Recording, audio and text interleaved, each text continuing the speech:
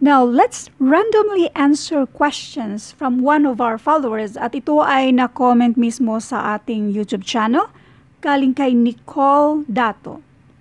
Pero before we will start, sa mga bago pa sa channel ko, ito yung FB natin. Ito naman yung FB group, Philippine Civil Service Review for All, kung saan pwede kayong mag-post dyan at marami tayong mga FB members na haping sagutan yung mga tanong ninyo. At ito naman yung iba pang mga FB groups na lagi nating tinatampayan at FB pages natin na posibleng makatulong sa inyo. Basahin natin yung papasagutan niya. A denominator of fraction is one more than the numerator. Dito muna tayo. So let n be our numerator. D as our denominator. The denominator of a fraction is 1 more than the numerator. Ibig sabihin yan, itong d daw natin ay n plus 1. So ngayon, ito ay n over, instead na d ang isulat natin, n plus 1. Next. If both the numerator and denominator are decreased by 3. So, mag-minus 3 tayo. n minus 3 sa denominator natin ay n minus 3. I-rewrite natin. n minus 3, yan na ngayon yung numerator, yung denominator. Meron tayong same term dito So, plus 1 minus 3, that is negative 2. So, this is n minus 2. Simplihan natin. Positive 1, meron kang isa, kaso lang uutang ka ng tatlo, so ang utang mo ay dalawa na lang. n minus 1, yun, yan yung denominator natin. The resulting fraction is equal sign ang ibig sabihin yan. Equivalent to 4 over 5. So, isulat mo lang si 4 over 5. Ito na yung equation sa mismong given dito, itong problem natin mismo. Now, pwede na natin siyang isolve para makuha natin yung value ni n. Cross multiplication.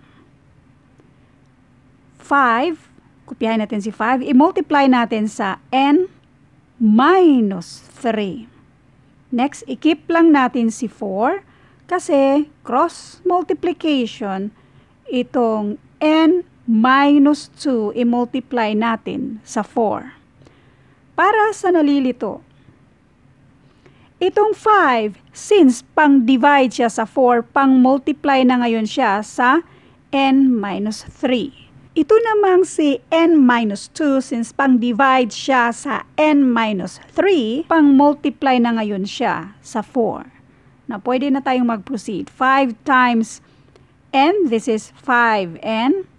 5 times negative 3, this is negative 15. 4 times n, this is 4n.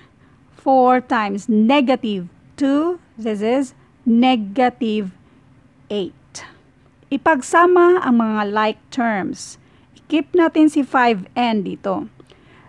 Itong 4n, since positive 4n yan, pag matransfer natin ay pang minus na dito sa kabila, 4n. In other words, nag-minus tayo ng 4n to both sides para makancel si 4n dito. So, ang natitira na lang ay negative 8. Ito namang si minus 15, since pang minus siya dyan, pang add na siya sa kabila. In other words, nag-add tayo ng 15 to both sides para makancel si 15 dyan. Now, 5n minus 4n, that is n na lang or 1n. Always remember, kapag walang mga coefficient nakalagay sa variables natin, automatic na 1 yan siya. So, pwedeng n na lang n equals negative 8 plus 15. Ibig sabihin nito, mag-minus tayo at kopyahin lang yung plus sign. In other words, may utang kang 8. Magbabayad ka ng 15, sobra ka pa ng 7. So, ang value ni n ay 7. Balikan natin. Yung numerator natin equals 7. Yung denominator, the denominator of a fraction is 1 more than the numerator. So, 7 yung numerator plus 1 so 8 yung denominator. Kaya ang sagot dito ay 7 over 8. Find the fraction 7 over 8. Another way of solving this. Dito tayo mag-focus sa numerator. Para ma-isolate dito si n, since itong 3 pang minus sa n, i-transfer natin sa kabila, pang-add na siya sa 4. So, n equals 4 plus 3. 4 plus 3 equals 7. So, ang value ni n ay 7.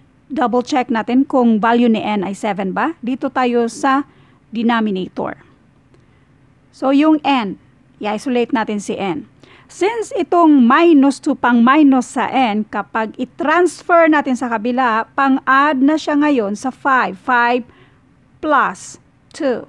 5 plus 2 equals 7. So, value ni n ay 7 nga siya. Kaya, yung n over d natin, value ni n ay 7. Ngayon, yung denominator, anong meron dito? A denominator of a fraction is 1 more than the numerator.